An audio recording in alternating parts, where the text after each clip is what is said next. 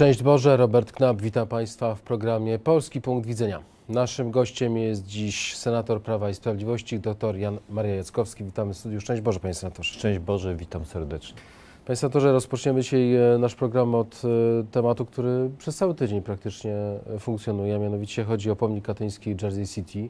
Burmistrz e, tego miasta mówi, że no, trzeba go usunąć, e, przynajmniej na chwilę, bo teren będzie rewitalizowa- rewitalizowany, czyli będzie reorganizacja tego terenu. A tak w ogóle to trochę jest makabryczny. To słyszymy z kolei ze ust inwestora, który tam e, zamierza robić właśnie różnego rodzaju inwestycje. A jaka jest prawda?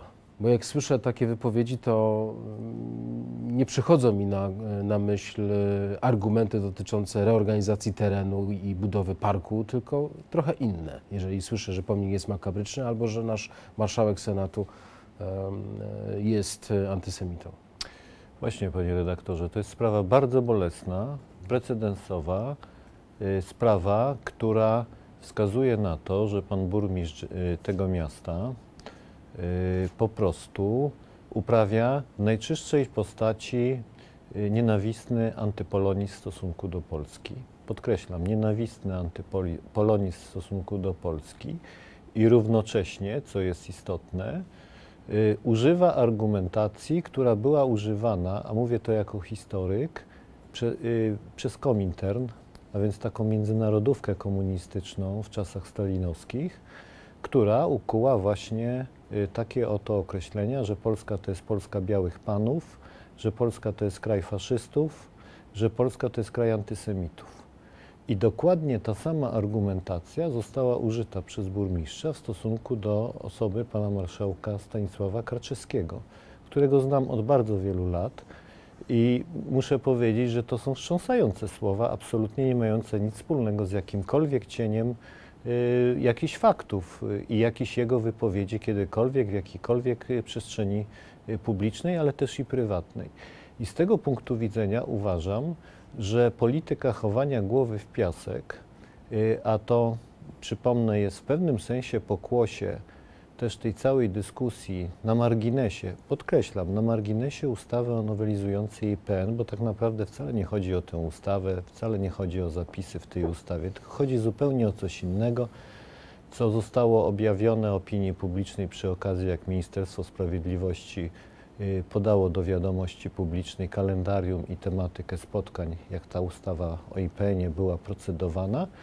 I tak naprawdę chodzi o tak zwaną reprywatyzację, a w gruncie rzeczy o tak zwane mienie bezspadkowe, to znaczy niektóre organizacje żydowskie uważają, że skoro nie ma naturalnego kręgu spadkobierców, takich jak ustawa mówi, jeżeli to dzieci, nie wiem, krewni, kolejne kręgi, jeżeli nie ma takich spadkobierców, to w tradycji prawa rzymskiego, prawa cywilnego, y, które od, w Polsce jest od wieków, zresztą w Europie również Zawsze. i nawet w Stanach Zjednoczonych tak, tak to funkcjonuje. Y, Wtedy takie mienie przychodzi na skarb państwa, czyli staje się własnością skarbu państwa. Natomiast organizacje żydowskie chciałyby, żeby takie mienie po prostu przechodziły na, na nich i żeby tutaj y, domagać się restytucji takiego mienia, względnie odszkodowania za to mienie.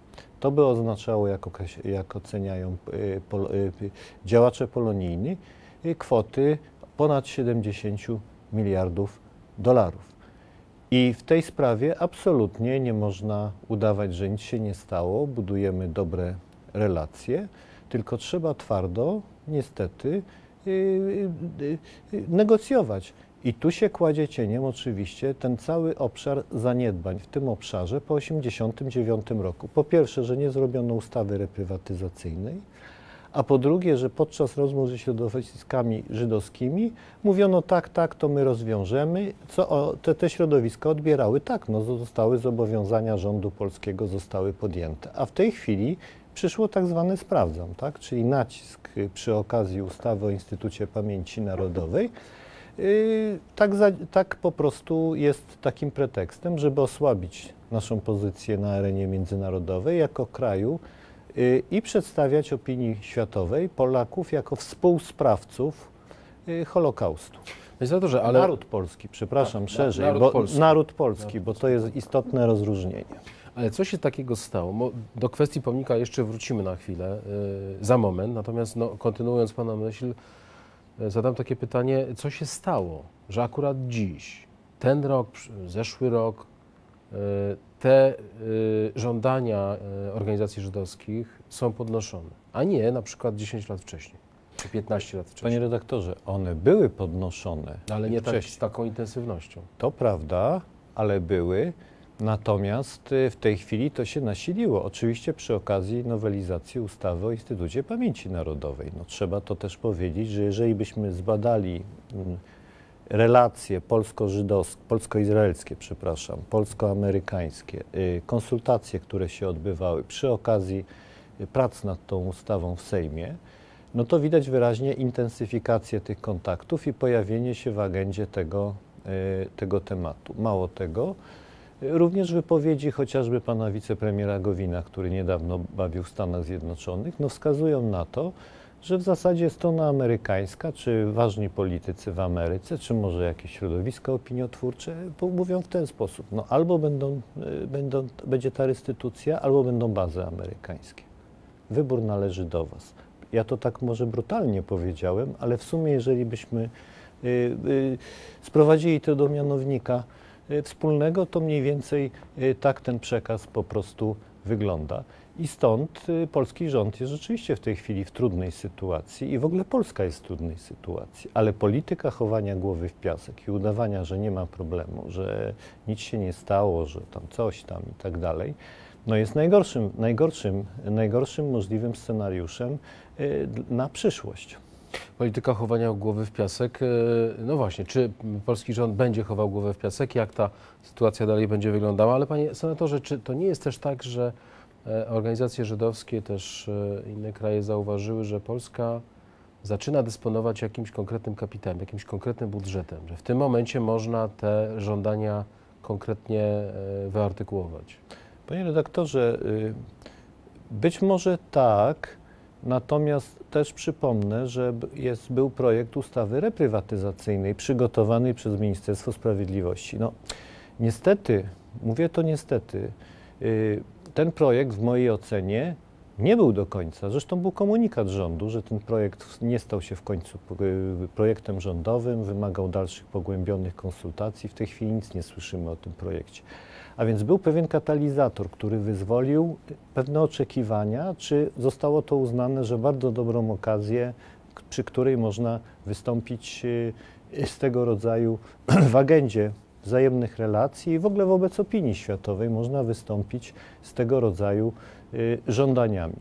Y, I to też jest fragment większej całości, to znaczy to pokazuje, że trzeba sobie doskonale zdawać, że w tej chwili, w mojej ocenie, to jest mój prywatny pogląd, ale człowieka, który się tym trochę problemem zajmuje od wielu, wielu lat, y, pełniąc różne funkcje publiczne, bo też jako przewodniczący Rady Miasta Stołecznego Warszawy inicjowałem m.in. szacowanie strat za II wojnę w Warszawie. To chodziło o Niemców, ale, że tak powiem, majątek był w pewnym sensie wspólny i Polacy stracili, i, znaczy obywatele polscy, nie, a w ogóle ludzie pochodzeni, y, będący Polakami, będący Żydami, będący przedstawicielami innych narodów, bo przecież obywatele polscy y, etnicznie y, reprezentowali różne narody, stracili konkretny majątek w Warszawie, tak? Więc ten problem już tam jakiś czas temu się tym, y, tym, tym zajmowałem.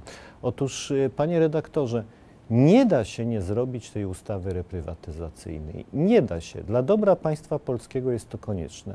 Dlatego, że później ta eskalacja będzie coraz większa. A, na, a finalnie może się okazać, że owszem, organizacje żydowskie dostaną rekompensatę, a Polacy, którzy zostali przez komunistów wywłaszczeni, jej nie otrzymają. No więc tu musi być zasada proporcjonalności i solidarności i musi być zasada, że wszyscy są wobec tra- prawa traktowani równo, a nie, że są równi i równiejsi. Właśnie ta ustawa e, 447, amerykańska ustawa, jest określona jako dyskryminacyjna, dlatego że ona e, mówi tylko o odzyskiwaniu, o przekazywaniu, o procedurach poprawnych odzyskiwania majątków przez e, Żydów, ale nie mówi na przykład właśnie o Polakach, tak? A to No więc właśnie. to jest ta sama materia, prawda? Dokładnie jest ta, ta sama materia. Y, I są sytuacje, że była rodzina żydowska, która utraciła na przykład konkretny składnik mienia, nie wiem, byli to obywatele polscy, mieli kamienicę, mieli fabrykę, mieli, nie wiem, sklep, no cokolwiek, jakąś nieruchomość. I załóżmy, że są spadkobiercy. Jest rodzina polska i jest w podobnej sytuacji, że też są jacyś y, konkretni, znani z imienia i z nazwiska spadkobiercy. A więc widzimy, że trzeba po prostu równo wszystkie osoby, które zostały pokrzywdzone w wyniku y, komunizmu, w wyniku dekretów o nacjonalizacji, trzeba równo potraktować. A czy nie można tej ustawy 447 zakwestionować na gruncie prawa amerykańskiego jako ustawy dyskrymi- dyskryminacyjnej? Bo to jest, to jednak- jest, panie redaktorze, bardzo y, żmudna Ale polski droga. rząd chyba powinien też spróbować w tym kierunku pójść.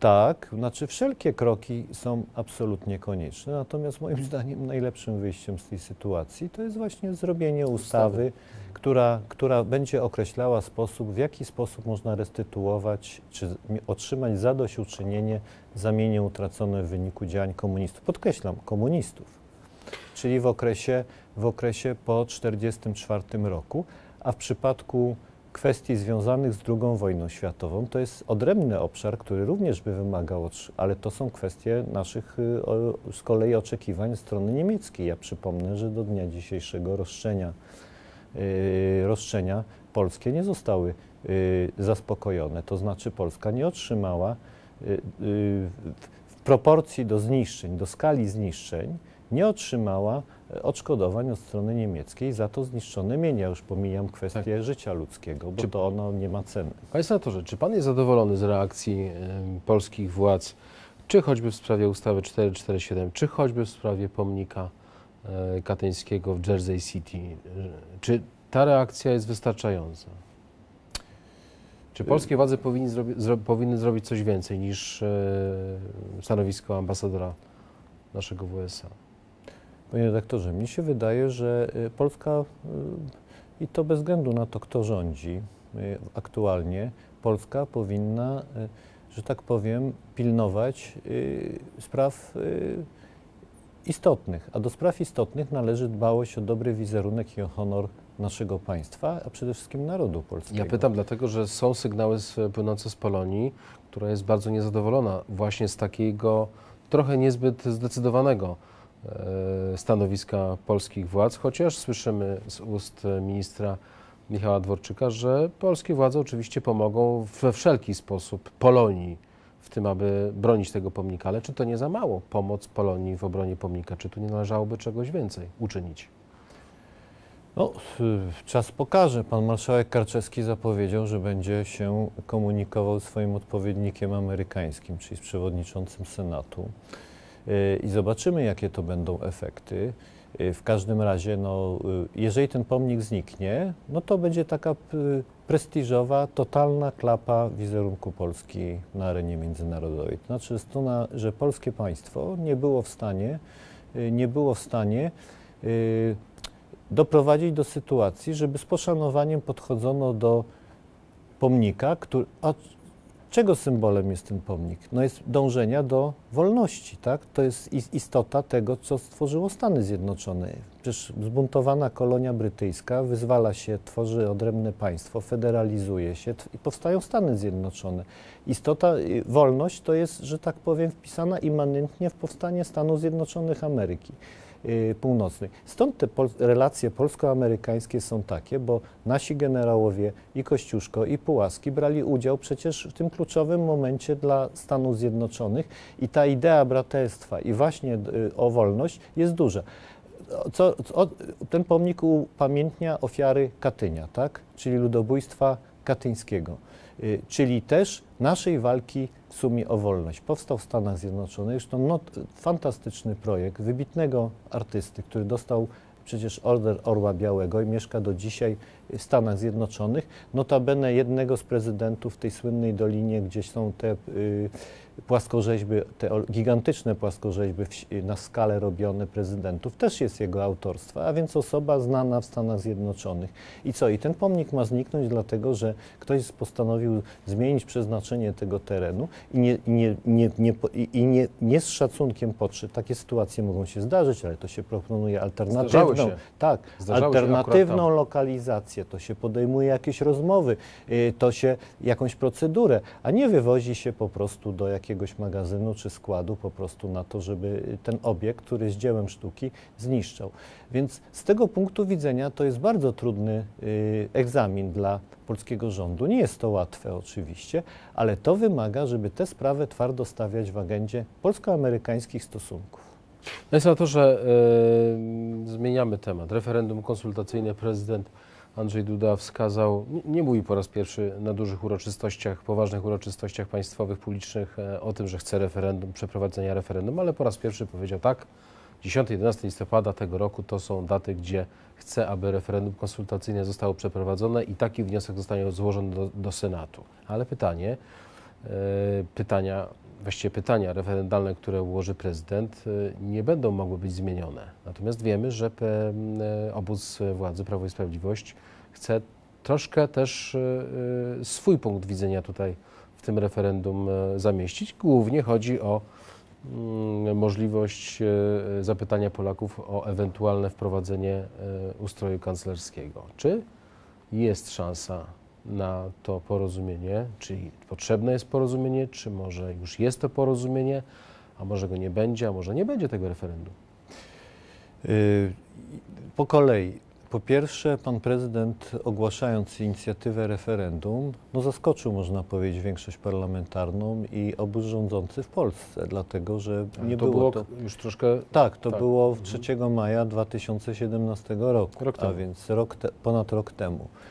I, I to jest ta przyczyna główna, która powoduje, że jest taka niejasna atmosfera wokół tego referendum, które w moim przekonaniu mogłoby być bardzo pozytywnym narzędziem konsultacji społecznych i tworzenia nowej konstytucji, bo ta konstytucja jest powszechnie krytykowana i faktycznie y, są przyczyny, dlaczego jest y, krytykowana i należałoby ją zmienić. Ale zmiana konstytucji to jest bardzo poważne przedsięwzięcie legislacyjne, y, to jest też bardzo ważne przedsięwzięcie polityczne y, i również wymaga też konsultacji, żeby obywatele mieli okazję wypowiedzieć się na ten temat. I z tego punktu widzenia no, ta inicjatywa pana prezydenta nieuzgodniona z większością, a pan prezydent nie jest jakby suwerenny w tym, że nie on zarządza referendum, tylko to wymaga zgody Senatu. No więc w sumie większości y, parlamentarnej. Y, no, y, postawił y, trochę tę sprawę w odwrotnej kolejności. I stąd myśmy cały czas mówili, że jest potrzebna mapa drogowa, jak dojść do referendum, jakie pytania należałoby zadać w tym referendum. I powstała taka sytuacja, powiedziałbym, jaka powstała. Natomiast y, co do daty, pan redaktor powiedział, że pytań nie możemy zmienić. Tak, taka uchwała czy taki wniosek pana prezydenta jest zero-jedynkowy. To znaczy Senat może albo go przyjąć, albo odrzucić. Chyba, że pan prezydent sam dokona jakiejś autokorekty i zmieni w tym y, swoim wniosku, yy, zmieni, nie wiem, pytanie, zmieni termin. 10-11 obchody stulecia odzyskania niepodległości. Radosne we wszystkich miastach, miasteczkach, gminach, w całym kraju. Ja jeżdżę po moim okręgu i widzę, jak ludzie przeżywają 11 listopada. A w tym roku będzie to szczególne, no bo jest to stulecie. I wyobraża pan sobie sytuację. Jesteśmy tydzień bądź dwa tygodnie po wyborach samorządowych, a więc jeszcze trwają komentarze, kto wygrał, kto przegrał. I jest następny akt wyborczy w postaci referendum. Ludzie mają iść do, do lokali i teraz nie wiedzą, czy mają iść do lokali, czy mają świętować, cieszyć się, że 11 listopada, przeżywać to święto. A w tle odbywa się jeszcze ostra kampania polityczna, referendalna, bo są zwolennicy takiego rozwiązania, zwolennicy innego rozwiązania. Są ci, którzy mówią, że trzeba koniecznie iść, inni mówią, żeby bojkotować to referendum. Wiemy, jaka jest atmosfera przed każdym referendum. No, ileś referendów w Polsce już było. I to również y, wskazuje na to, że byłby oczywiście problem z frekwencją, ponieważ nie jest tajemnicą, że żeby referendum miało skutki, czy miało, było ważne, no to potrzeba 50% uprawnionych do głosowania. 14, ponad 14,5 miliona Polaków powinno pójść do tego głosowania. Dwa razy tylko takie referendum zakończyło się właśnie w sposób skuteczny. Także widzimy, że tych znaków zapytania jest y, bardzo dużo i stąd to, co powiedziałem na wstępie, nieuzgodnienie tego, nie, nie wydyskutowanie tego w, grę, w, w kręgach politycznych, w kręgach y, ekspertów, no powoduje, że mamy taką sytuację i pan prezydent mówi, no nie wyobraża sobie, żeby Senat nie przyjął, a z drugiej strony stawia Senat trochę pod ścianą. Były tym. pewnego rodzaju dyskusje społeczne, dialog, dialogi i tak dalej i, i, takie też e, spotkania referendalne, które organizował między innymi. Tak, y, nawet u mnie w okręgu y, też oczywiście był pan minister Mucha, y, było bardzo interesujące spotkanie, ale te spotkania gromadziły ludzi typu rolnicy, nie wiem, środowiska zatroskane o rodzinę.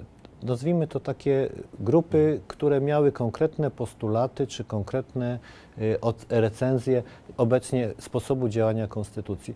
Natomiast nie była to taka powszechna debata. Nie było jakichś serii, nie wiem, debat w różnych telewizjach z ekspertami, dyskusji, y, pytania o zdanie, jakichś konsultacji.